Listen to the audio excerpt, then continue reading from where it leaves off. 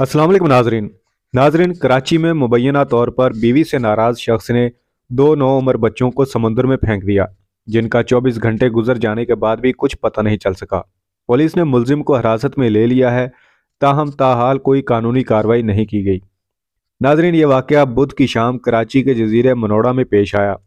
Police ने बताया कि मुलजिम बुध की शाम अपने छः और नौ साल बेटों के हमरा मनोड़ा पहुँचा था और पहाड़ी से उन्हें समंदर में फेंक दिया। उसने खुद भी छलांग लगाई, लेकिन रेस्क्यू एहलकारों ने उसे बचा लिया। मुलजिम का कहना है कि उसके अपनी अहलिया के साथ तल्लुकात ठीक नहीं थे। जाए वकूआ पर मौजूद लोगों की जानब से बनाई गई मुलजिम की वीडियो में उसने बताया कि उसने बीवी को फ़ोन पर कॉल की, लेकिन वो उसकी बात नहीं सुन रही थी। उसने बताया कि मैं घर से आया था अपने बच्चों को लेकर।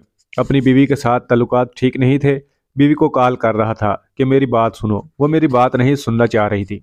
उसके अबू को कॉल की वो फ़ोन नहीं उठा रहे थे। उसकी बहन को कॉल की और कहा कि आपकी बहन गलत कर रही है तो उसने कहा कि जो करना है कर लो। मुलजिम ने कहा कि उसकी मर्दानगी ख़त्म हो रही थी और उसे उकसाया जा रहा था। मुलजिम ने कहा कि बच्चे डूबे नहीं हैं, बल्कि उसने खुद डबोए हैं। मैंने सोचा कि तीनों मर जाएँगे, फिर उसको आज़ादी मिल जाएगी, उसके बाद उसको जो करना है खुले दिल से करे। जब वीडियो बनाने वाले लोगों ने उससे पूछा कि वो खुद क्यों नहीं डूबा तो उसने कहा कि वो भी डूबने गया था, मगर पानी में काफ़ी आगे तक चला गया था। पुलिस के मुताबिक सूरज डूब जाने की वजह से रेस्क्यू ऑपरेशन में दुश्वारी पेश आई। दूसरे रोज भी नेवी और ईथी फाउंडेशन के रजाकारों ने तलाश जारी रखी, लेकिन बच्चों का ताहाल पता नहीं चल सका।